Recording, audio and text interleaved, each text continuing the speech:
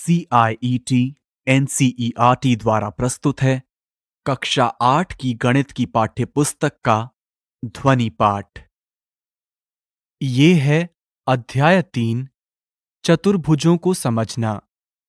पृष्ठ संख्या इकतालीस से लेकर पृष्ठ संख्या बासठ तक। आइए सुनते हैं अध्याय तीन, चतुर्भुजों को समझना। पृष्ठ संख्या इकतालीस। तीन दशमलव एक भूमिका। आप जानते हैं कि कागज़ समतल का एक प्रतिरूप है। जब आप कागज़ से पेंसिल को हटाए बिना बिंदुओं को आपस में जोड़ते हैं, अकेले बिंदुओं को छोड़कर आकृति के किसी भी भाग को अनुरेखित किए बिना तो आप एक समतलीय वक्र प्राप्त करते हैं। पिछली कक्षाओं में अलग अलग प्रकार के देखे गए वक्रों को स्मरण करने का प्रयास कीजिए। निम्न आकृतियों का सुमेलन कीजिए। ध्यान रखिए, एक आकृति का एक से अधिक आकृतियों से सुमेलन हो सकता है। यहाँ पर एक सारणी बनी है। इस सारणी में दो स्तंभ हैं, आकृति और नमूना। स्तंभ एक एक। यहाँ पर एक समकोण बना है। दो। यहाँ पर गलत का निशान बना है। तीन। यहाँ पर एक वृत्त बना है। चार। यहाँ पर दो त्रिकोण बने हैं, जो एक दूसरे से जुड़े हैं। स्तंभ दो। नमूना। ए। सरल बंद वक्र है। बी। बंद वक्र जो सरल नहीं है। सी, सरल वक्र जो बंद नहीं है। डी, सरल वक्र नहीं है।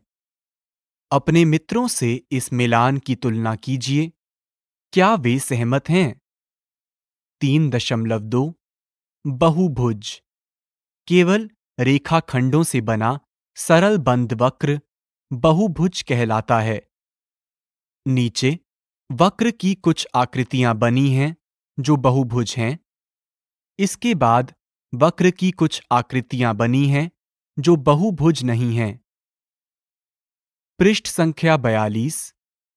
कुछ और बहुभुजों के उदाहरण देने का प्रयास कीजिए, तथा कुछ और ऐसे उदाहरण दीजिए, जो बहुभुज ना हों। एक बहुभुज की एक कच्ची, यानी रफ आकृति खींचिए और उसकी भुजाओं और शीर्षों की पहचान कीजिए। तीन दशमलव दो दशमलव एक, बहुभुजों का वर्गीकरण। हम बहुभुजों का वर्गीकरण उनकी भुजाओं या शीर्षों के अनुसार करते हैं।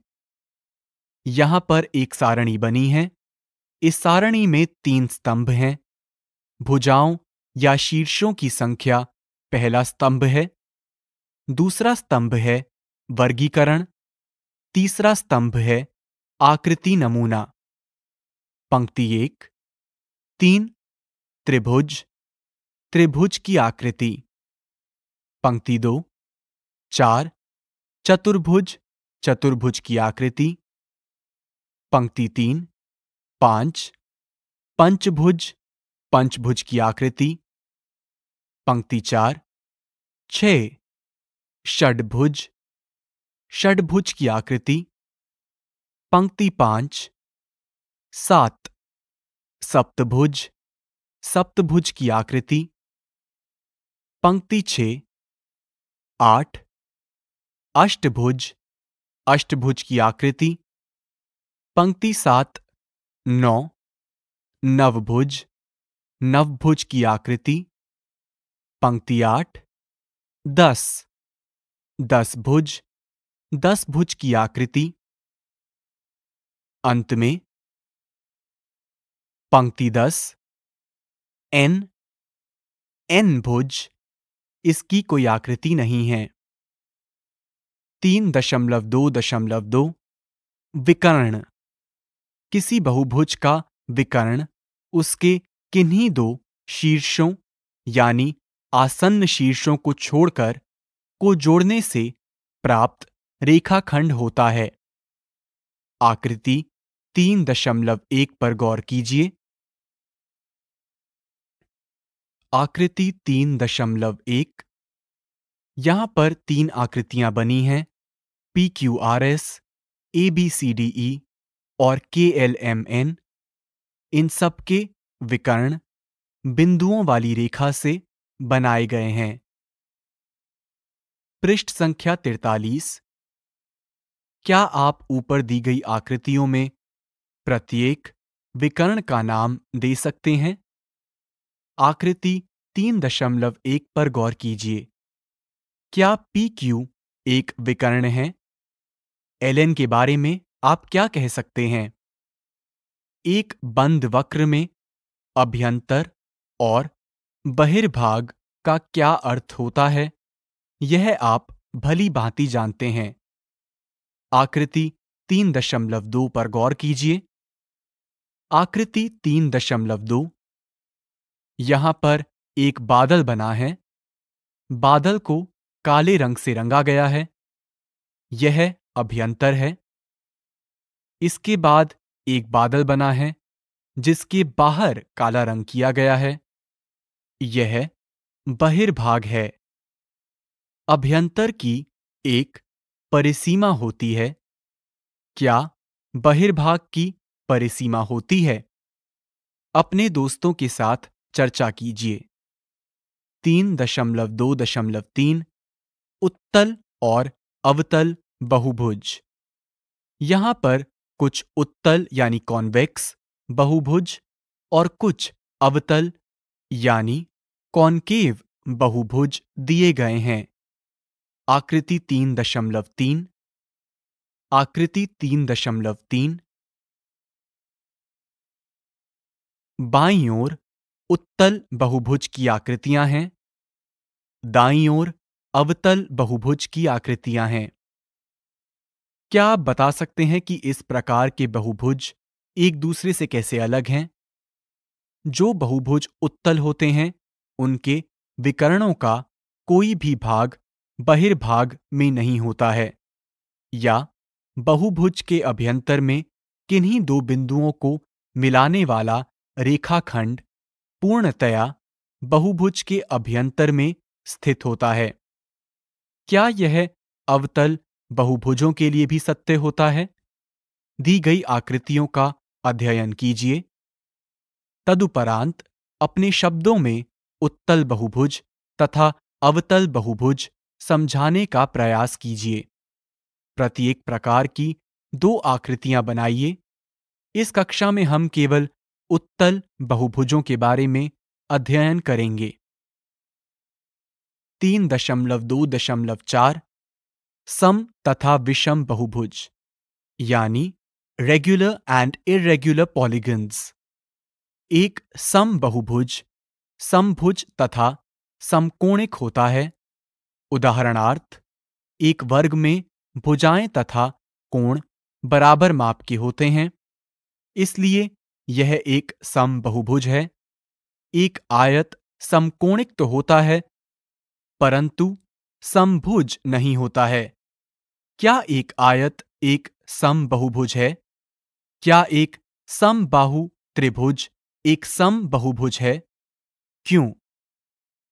पृष्ठ संख्या चवालीस यहाँ पर कुछ आकृतियाँ बनी हैं, जो सम बहुभुज या रेगुलर पॉलीगन्स हैं। कुछ आकृतियाँ बनी हैं, जो विषम बहुभुज यानी इरेगुलर पॉलीगन्स हैं। संकेत दो डैश या एक डैश का उपयोग बराबर लंबाई वाले रेखा खंडों को दर्शाता है। पिछली कक्षाओं में क्या आपने किसी ऐसे चतुर्भुज के बारे में पढ़ा है, जो समभुज तो हो, परंतु समकोणिक ना हो। पिछली कक्षाओं में देखे गए चतुर्भुजों की आकृतियों का स्मरण कीजिए, जैसे आयत, वर्ग, समचतुर्भुज इत्यादि। क्या कोई ऐसा त्रिभुज है, जो समभुज तो हो, परंतु समकोणिक ना हो? तीन दशमलव दो दशमलव पाँच। कोण योग गुणधर्म? क्या आपको एक त्रिभुज के कोण योग वाला गुणधर्म याद है? एक त्रिभुज के तीनों कोणों के मापों का योग 180 डिग्री होता है। हमने इस तथ्य को समझाने के लिए जिस विधि का उपयोग किया, उसे स्मरण कीजिए। अब हम इन अवधारणाओं को एक चतुर्भुज के लिए प्रयोग करेंगे। इन्हें कीजिए। एक, कोई एक चतुर्भुज माना ए बी सी डी लीजिए। आकृति तीन दशमलव चार पर गौर कीजिए। एक विकर्ण खींचकर इसे दो त्रिभुजों में बांटिए।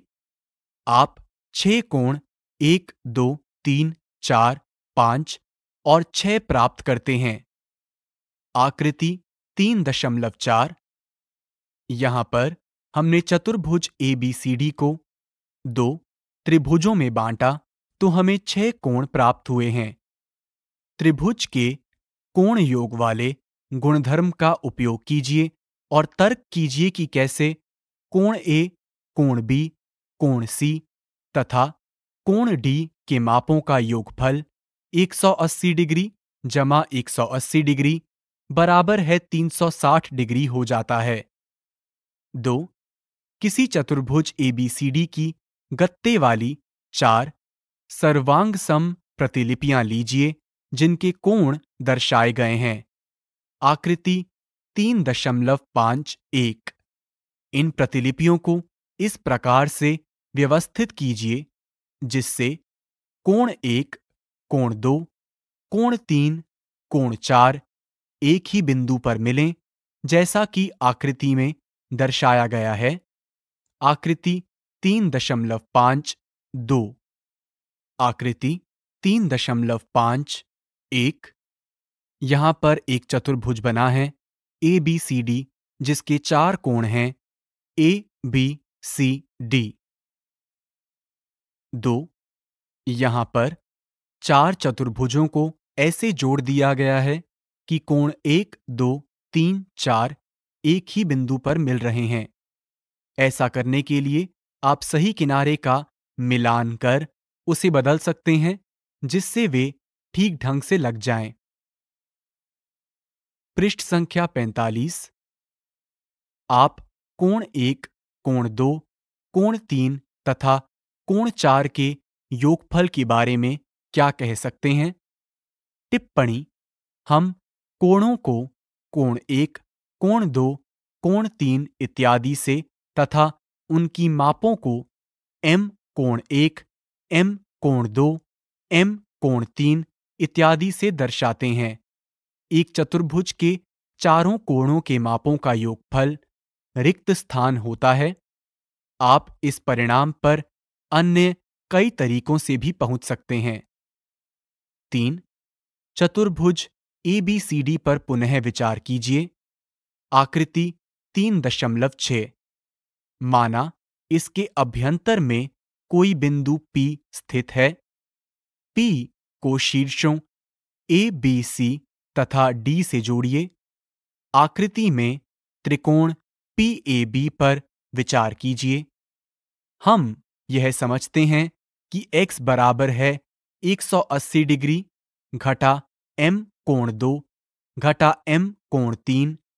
इसी प्रकार त्रिकोण पीबीसी से y बराबर है 180 डिग्री घटा एम कोण चार घटा एम कोण पाँच त्रिकोण पीसीडी से z बराबर है 180 डिग्री घटा m कोण छ घटा m कोण सात और त्रिकोण पीडीए w बराबर है 180 डिग्री घटा m कोण आठ घटा m कोण एक। इसका उपयोग करके कुल माप m कोण एक जमा m कोण दो जमा रिक्त स्थान जमा m कोण आठ ज्ञात कीजिए। क्या यह आपको परिणाम तक पहुँचाने में सहायता करता है? याद रखिए, कोण x जमा कोण y जमा कोण z जमा कोण w बराबर है 360 डिग्री। आकृति तीन दशमलव छ यहाँ पर एक चतुर्भुज ए बी सी डी बना है जिसे विकर्णों की सहायता से चार त्रिभुजों में बांट दिया गया है जहाँ दोनों विकर्ण मिल रहे हैं वह बिंदु P है और वहाँ पर चार कोण बन रहे हैं W, X, Y, Z. इसके बाद चतुर्भुज को विकर्णों की सहायता से बांटने के बाद हमें आठ कोण मिले हैं। एक, दो, तीन, चार, पाँच छ सात, आठ। चार, ये सभी चतुर्भुज उत्तल यानी कॉन्वेक्स चतुर्भुज थे। यदि चतुर्भुज उत्तल नहीं होते तो क्या होता? चतुर्भुज एबीसीडी पर विचार कीजिए। इसे दो त्रिभुजों में बांटिए और अंततः कोणों का योगफल ज्ञात कीजिए। आकृति तीन दशमलव सात। आकृति तीन दशमलव सात, यहाँ पर एक चतुर्भुज एबीसीडी बना है। अभी आप सुन रहे थे कक्षा आठ की गणित की ध्वनि पुस्तक का पाठ। वाचन स्वर, आकाश आहूजा, तकनीकी समन्वयक, बटलैंग लिंगडो, तकनीकी सहायक मयंक कुमार, निर्माण सहयोग, रुचि शर्मा, निर्देशन व निर्माण, विमलेश चौधरी तथा प्रस्तुति C I E T N C E R T नई दिल्ली, भारत।